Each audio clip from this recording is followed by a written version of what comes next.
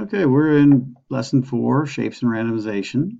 Uh, we're about to move on to a new section, but let's review what we have learned. Uh, we have used the rectangle tool and the ellipse tool.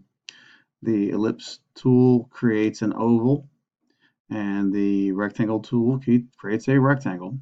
Uh, there are many inputs we can provide, parameters. We don't use the same parameters every time. We're going to continue on and learn a new parameter. Uh, this is a random number. Uh, this allows us to apply a random parameter using this block of code.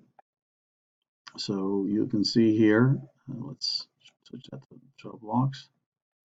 Um, you can see in the ellipse code that there is a orange highlighted section here. It says random number.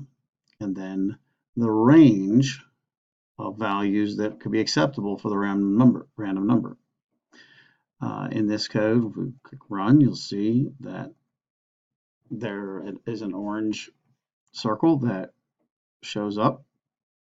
And if we reset and run it again, that orange circle shows up somewhere else. It has randomly been assigned a new value. Um, you can see that it just moves left and right on the screen.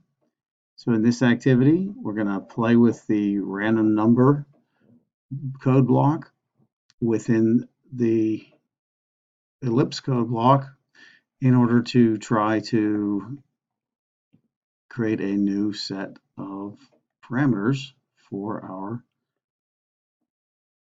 for our bouncing tomato.